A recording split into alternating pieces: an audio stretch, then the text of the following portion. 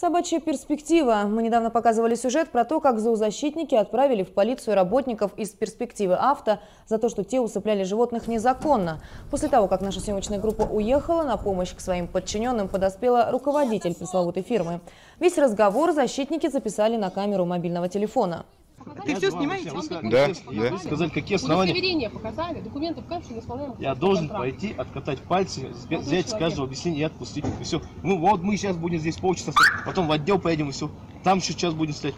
Они Вы не хотят, чтобы констатировали смерть не животных. ничего не нарушили, Не, вы ну поедут? государственный контракт.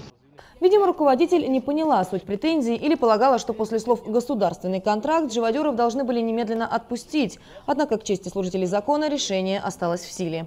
В отдел так в отдел. Вот только сначала полицейские зафиксировали смерть собак. Сейчас по данному делу ведется разбирательство.